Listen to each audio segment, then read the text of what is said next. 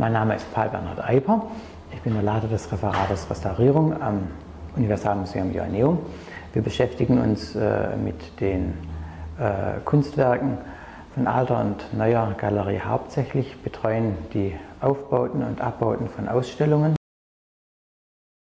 Unsere wesentliche Aufgabe ist natürlich, wie der Name Restaurierung schon sagt, das Wiederherstellen von äh, durch Zeit ähm, degradierten Kunstwerken, die sich einfach ähm, materialtechnisch und natürlich auch äh, durch die Inanspruchnahme während der Zeit abgebaut haben.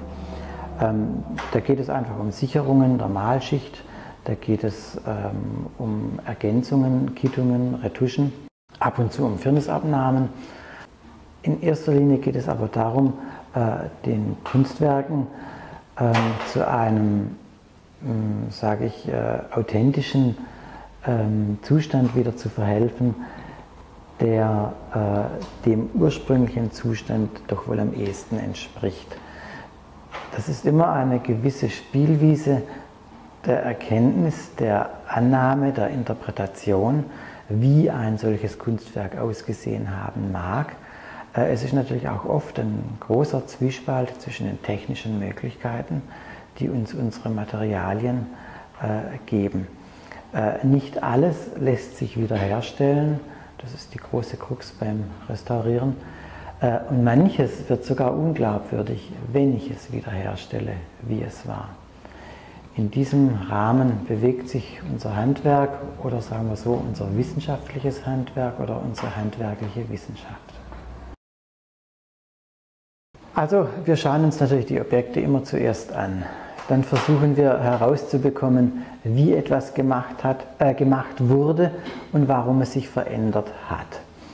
Äh, dann kommt es einfach darauf an, ähm, dass wir äh, die Geschichte des Objektes nicht verleugnen, aber dennoch äh, es eben äh, in einem gepflegten Zustand erscheinen lassen.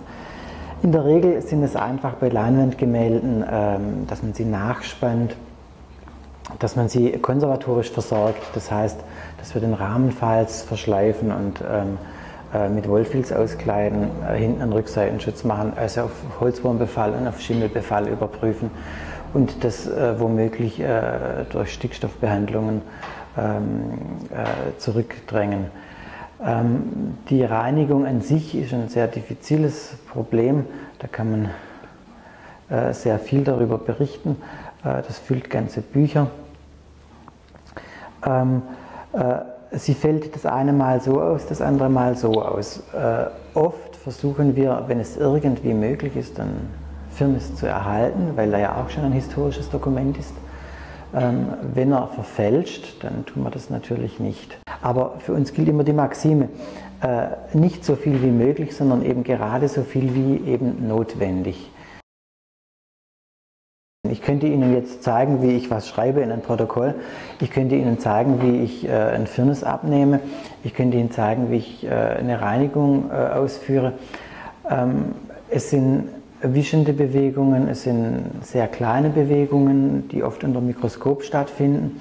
Es sind aber auch nur ganz handfeste Bewegungen, wenn ich einen schweren Rahmen oder ein schweres Bild trage. Aber ich kann es jetzt nicht auf eine typische ähm, Bewegung reduzieren, weil es einfach das Gesamte ist. Und äh, wenn ich jetzt eine Bewegung mache, die äh, würde dann die anderen eigentlich äh, ins Hintertreffen geraten lassen. Das wäre also nicht ganz ehrlich.